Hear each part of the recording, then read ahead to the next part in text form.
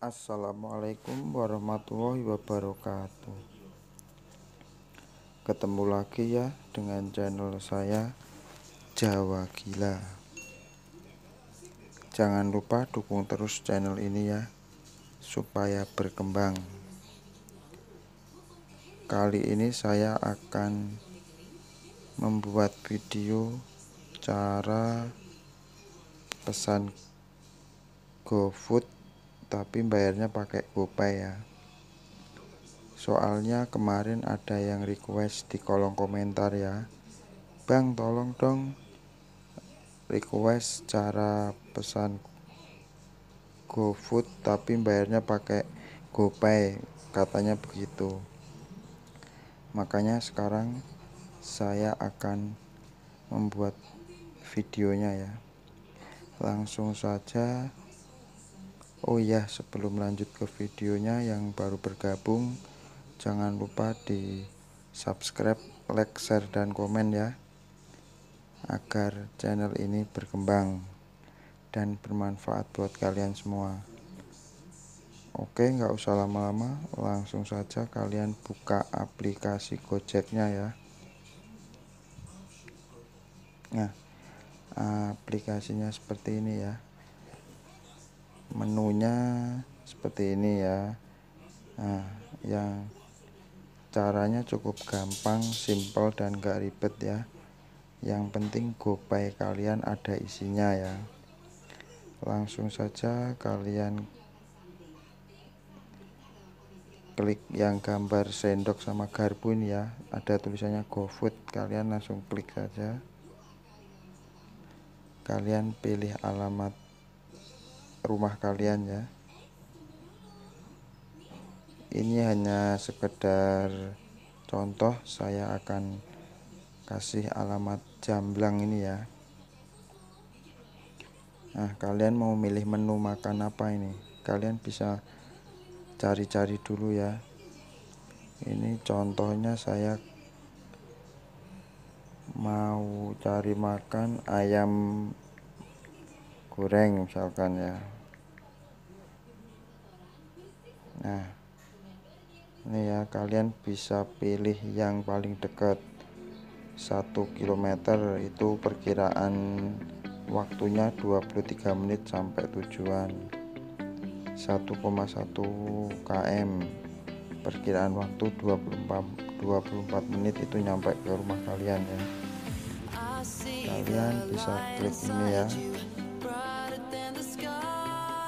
kalian pilih dulu. Pengen yang hemat ayam penyet komplit apa indomie ayam? Nah, saya akan memilih hemat ayam ini ya. Yang awalnya 35.000 karena ada potongan jadi 28.000 lumayan ada potongan 2000 ya. Klik saja tambah jika nggak mau menambah menu lagi kalian langsung check off di sini ya. Di bawah ini ya yang ada satu item 28.000 ini saya langsung saja kalian klik. Nah, nah seperti ini ya. Kalian di bagian sini bisa kalian kasih alamat detailnya ya patokannya apa terus eh, deket apa gitu ya supaya drivernya itu enggak enggak bingung nyari alamatnya ya. Nah, ya. Ongkirnya 15.000 awalnya karena ada potongan jadi 9.000 harga awalnya 35.000 karena ada potongan jadi 28.000 karena kita pakai GoPay ya jika kalian bayarnya pakai tunai otomatis nggak akan ada potongan ya. Nah caranya gimana? Kalian bisa pilih di bagian tulisan GoPay ini ya.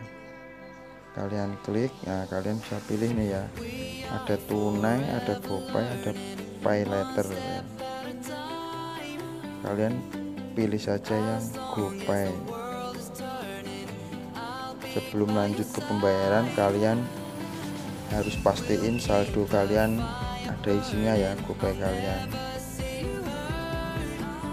Ini kan harganya totalnya 37.000 jadi gopay kalian harus minimal harus 38.000 atau 39.000 gitu ya. Cukup mudah kan caranya? Jika sudah kalian cukup, cukup klik pesan gitu aja ya. Ntar tinggal menunggu si driver nganterin makanan ini ke rumah kalian. Oke cukup sekian ya. Cukup mudah kan caranya. Jangan lupa dukung terus channel ini ya agar dapat berkembang dan membantu kalian semua yang belum tahu bisa menjadi tahu ya cukup sekian video dari saya. Jangan lupa untuk di subscribe like share dan komen ya.